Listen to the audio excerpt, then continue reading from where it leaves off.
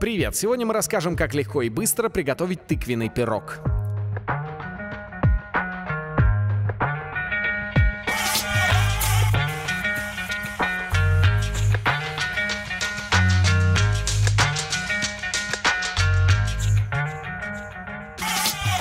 В миску с мукой вбиваем одно яйцо и добавляем 150 граммов сливочного масла. Все перемешиваем вилкой.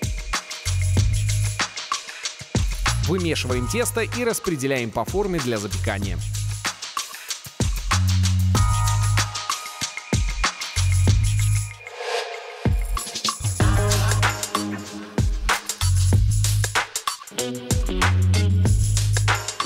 В отдельную миску на крупной терке натираем 500 граммов тыквы и 150 граммов тертого сыра. Крупно нарезаем 100 граммов вяленых томатов и добавляем в миску с тыквой и сыром. В отдельную миску вбиваем 3 яйца и добавляем 100 мл сливок. Все хорошо перемешиваем венчиком.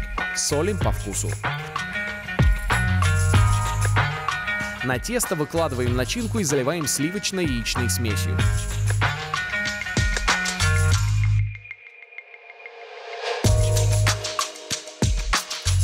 Отправляем в духовой шкаф на 25 минут.